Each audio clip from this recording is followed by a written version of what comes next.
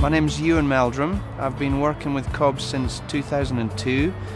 My role within Cobb Europe is in marketing and business development, so I work with a team covering marketing and I also work with our Middle East team on business development in the region.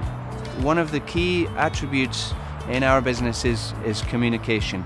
It's the same in most businesses, but it's really crucial when you're working with so many different cultures and languages across an area like Europe, Middle East and Africa. Well, a typical week varies quite a lot. It could be organising ahead for trade shows or customer seminars. It could be working on some market intelligence information or uh, on the markets from the region, or actually attending trade shows and customer seminars.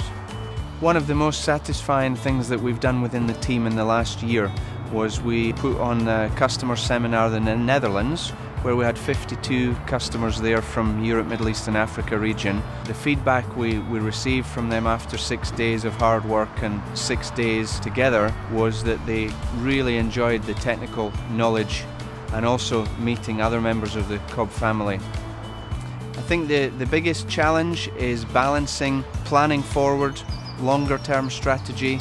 We could be working one to one and a half years ahead on certain projects like trade shows. So balancing that against achieving the short term goals, completing trade shows, seminars or completing market intelligence on time. One of the great things with, with Cobb is that there's, there's lots of opportunities to grow. One of the opportunities that I took a few years ago while I was product manager was to transfer to the United States with my family for two years. And the chance to get to do something like that is really fantastic.